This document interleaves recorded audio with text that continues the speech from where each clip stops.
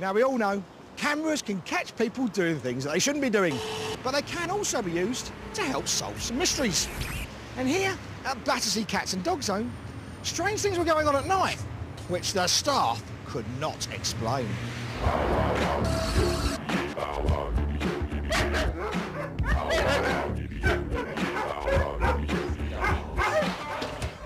So what's the big mystery, Anne?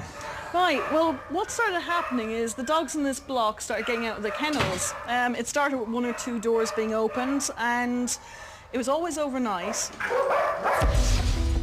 And then it increased to having about 10 to 12 dogs running around the place, stealing all the food in the kitchen.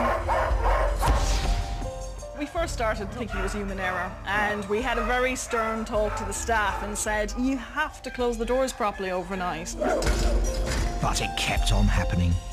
The next time we thought that it might be a practical joke. Uh, somebody was having a bit of a laugh. Um, but we tracked down the security men and there was nobody here at night that would be doing that.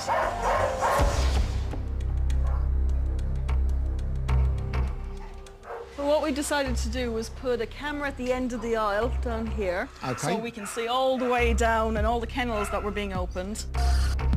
Then we also decided to put one in the kitchen where the food was. Right.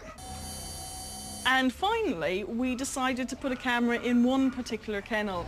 And it's this kennel here. Why particularly this one? Well, there's a dog called Red inside here. He was the one who always had his doors open. He was the one who always had his best friends, dog, doggy-wise, in there the next morning. The cameras were set. Now all they had to do was wait.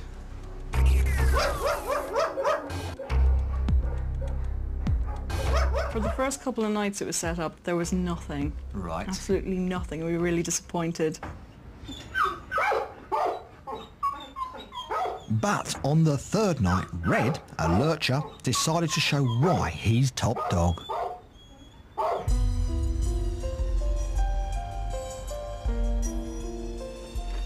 Look at that. Doors loose. And, just it. and off he goes. Genius. Yep. Oh. Oh, nice the way he's come straight out of his kennel, straight into the kitchen before letting his buddies out. Yeah, you get the best bits. He is shrewd. He's got the nerve of the devil, really, hasn't he? And just as soon as Red's had his film, he gets down to the serious business of who he's going to party with tonight. So they're his two best buddies, are they? They are his two best buddies, they're the lads. Go on, lads. In they go, look.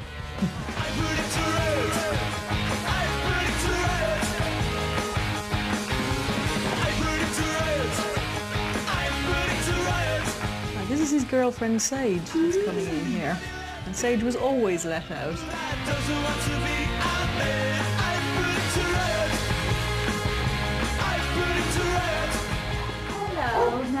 How did out? Did what you captured here actually put an end to Red's antics?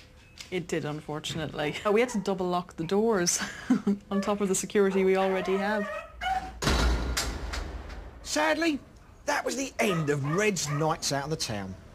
But as one door closed, another one opened. Because he was adopted two weeks later.